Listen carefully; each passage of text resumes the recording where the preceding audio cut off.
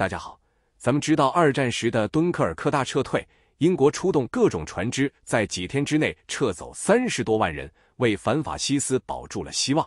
而在遥远的东方，也有一次类似的撤退。一九三八年，中国抗战进入最艰苦的时候，一家船运公司克服种种困难，在四十天内把抗战必需的物资设备运到后方，保住了抗战的希望。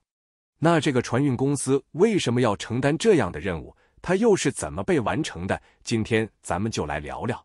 故事中的船运公司名叫民生船运，创始人卢作孚出身贫寒，早年参加同盟会，谋求救国救民的道路。一九二五年，卢作孚抱着实业救国的心思，靠着乡亲朋友的支持，买下了一艘七十吨的小汽船，创办民生船运。船运公司的目标是崛起于长江，争雄于列强。几年之后。卢作孚和他的民生事业公司靠着奋力拼搏，完成了长江上游的航运界整合，迫使外国航运势力退出长江上游，实现了当初的目标。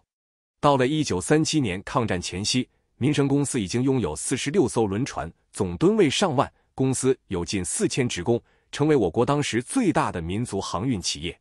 此时抗战爆发不久之后，中国东南沿海能丢的大城市都给丢掉了。到了一九三八年十月。国民政府寄予厚望的武汉保卫战也以失败告终。此后，大量工业设备、武器弹药都聚集在武汉上游的宜昌，在当时，这就是中国支撑抗日全部的家底了。如果这些设备被日军得到，哪怕就是空袭摧毁，后果不堪设想。可是，这些人员物资的运输谈何容易？当时从湖北到重庆、四川没有铁路，公路只有寥寥几条。而且汽车奇缺，靠任何陆地运输方式都不现实，只能靠航运。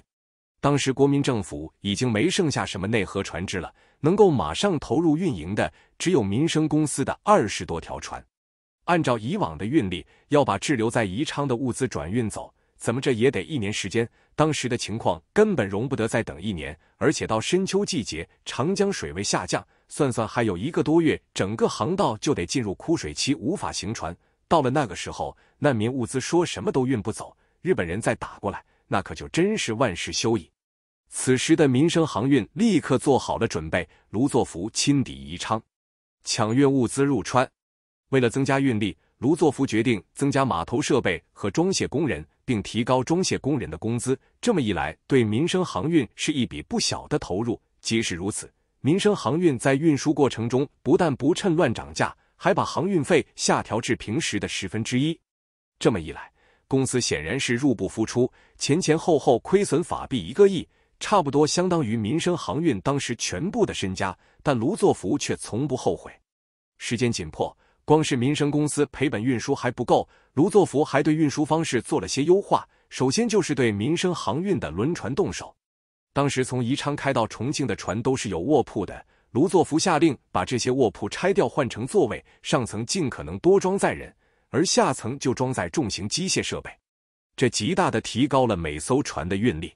除了民生的船，卢作孚还征集了两千多艘木船，这些木船有的在码头和大船之间往返，有的干脆就全程跑运输，抢运了大批物资。而运输这件事说到底是个技术活，除了争分夺秒，还得统筹规划好。不然的话，就会出现一堆船等着靠码头，浪费时间和资源。卢作孚看到影响航运的最大瓶颈就是装卸货，所以优化了船靠码头的流程。在他的优化之下，当轮船刚要抵达码头的时候，舱口盖子起重机的长臂早已举起，两岸的器材早已装在驳船上，拖头已靠近驳船。轮船刚抛了锚，驳船即已被拖到轮船边，开始装货了。当然。要做到这些，光靠一个航运公司老板的身份是远远不够的。之前卢作孚无心做官，为了解决此事，他一反常态，答应国民政府充当联合运输部主任，过目每一张电报电文，并对每一船的人员、货物和路线仔细规划。在他的指挥下，宜昌到重庆的航线在二十四小时内不间断运作，而且轮船和码头尽可能减少照明。以防日军空袭，由此可见其艰辛程度。而民生公司如此转运难民和物资，日军自然也盯上了他们。在四十多日的转运撤退过程中，日军多次对民生公司的轮船和码头进行轰炸，公司一百多人殉职，损失船舶十六艘，厂房、仓库、码头不计其数。即使这样，通过卢作孚的指挥和民生公司近乎自杀式不计成本的运输，一九三八年十二月长江枯水期到来之前，堆积在宜昌的物资设备和聚集于此的难民都被运走。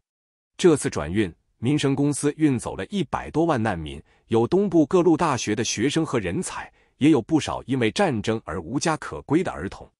至于物资和设备方面，民生公司总共运走了一百多万吨，其中就有大量的兵工厂设备。就是靠着这些设备，国府在重庆站稳脚跟，并很快的组织起生产。据统计，在一九三九年，重庆的兵工厂每月生产手榴弹三十万颗，迫击炮弹七万发，子弹几百万发。如果没有卢作孚把工厂设备转运到后方，一九三九年，中国很可能连手榴弹和子弹都没有。那么抗战再说什么苦撑待变，也就彻底失去了意义。